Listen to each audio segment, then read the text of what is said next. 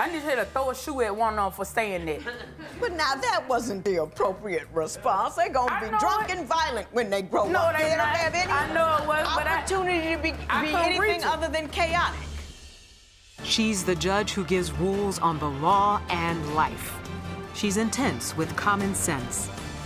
She's Judge Lynn Toler. On Divorce Court, where real couples deal with real life. Carol and Andrew have different ideas about marriage, but the one thing they agree on is that their marriage isn't working. Carol says he's a liar and a cheater, and Andrew says things will never work unless Carol changes. I'm tired of my husband cheating on me, lying to me, and taking my love for granted. I'm sick of it. My wife thinks everything is supposed to be a fairy tale. Everything is supposed to be handed to her, but I can't do that for her. If she don't change her ways, I'm gonna have to go. Is it bottoms up for this relationship? Find out today on Divorce Court.